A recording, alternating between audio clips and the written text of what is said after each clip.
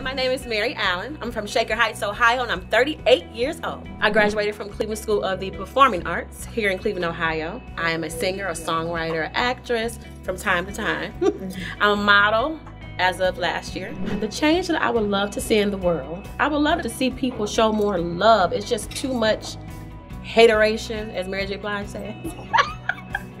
the time that I made a difference in someone's life was I came out of a bad relationship, but it was a beautiful healing process. The way I made a difference was by leading by example. People are watching you. People watch your social media pages, they watch you while you're out, they just watch you. And there was so many women calling me, asking me, Mary, how did you do it? How did you, you know, still, you know, live without being with this man or whatever? And I told them you have to make a decision, whether you want to be in something bad or be in something good. So I empower them to just believe in themselves and believe, even though it's to hurt, just go through the hurting process. You'll be all right.